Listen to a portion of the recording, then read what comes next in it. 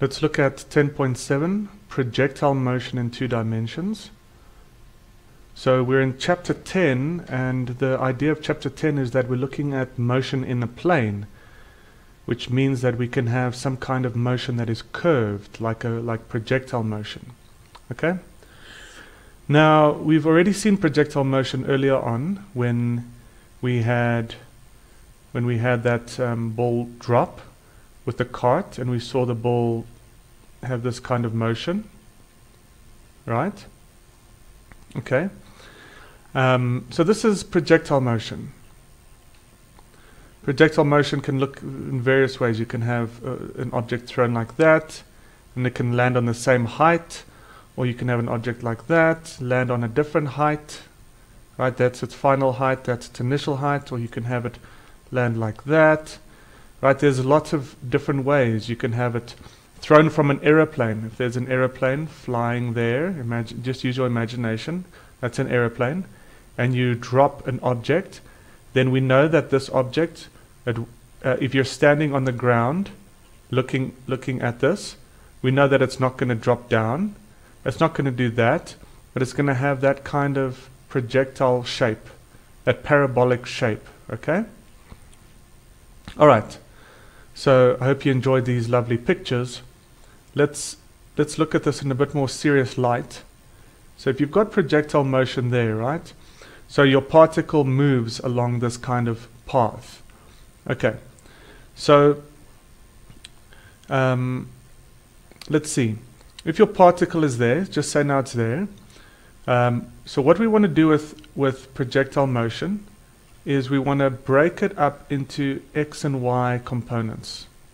Okay? And we want to describe the motion of a projectile in terms of its x motion and its y motion. We are breaking it up into its x and y. So we can start off by just looking at what is its position. And that is a position vector. And we can say it's equal to rxi plus ryj meters. Let's see what the textbook, I just want to make sure. Okay, it uses xi and yj. Let me rewrite that. This could also be just written x i plus y j. All right? So the point is, if you, if you break this up into its x component and into its y component, you're going to get the position vector. Then the next thing we can look at is the velocity. What is the velocity at this instant? Let's go green. Okay? we know that the velocity at any point along the curve, the velocity is tangent. Okay? The, the resultant velocity is tangent. There's v. But v can also be broken up, so we know that it would be dr dt. So you're taking the, the time derivative of the position, and then this would equal dx dt i plus dy dt j, which is simply vx i plus vy j. And that's meters per second. I'm putting these in brackets. Okay, that's what these are. They're brackets. Okay?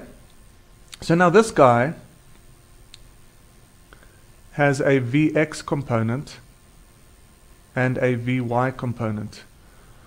And I'm just going to just draw many of these. It, originally, that's your direction of V, and there's Vx, and there's Vy. And over there, there is your V, and Vx, Vy. I hope it's making sense. And then you at the top, there is V. I'm just doing this again and again, just to get the idea. These, this is the direction of the velocity. It keeps changing. Its magnitude keeps changing.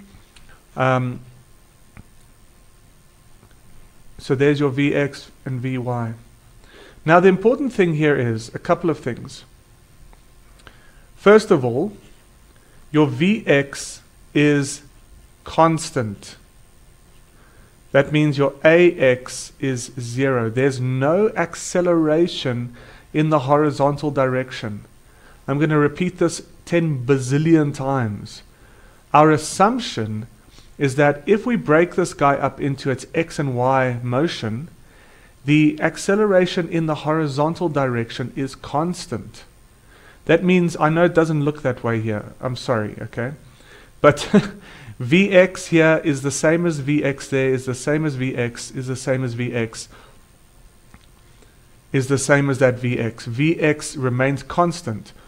Um, so we, we assume that there's no drag, there's no wind resistance.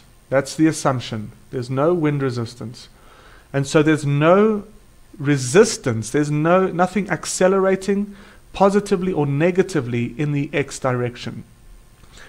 The other thing is um, the only acceleration acting on this particle is minus g. So it's, um, let's change again to something else. Minus g. That's the only acceleration, and it is obviously in the y direction.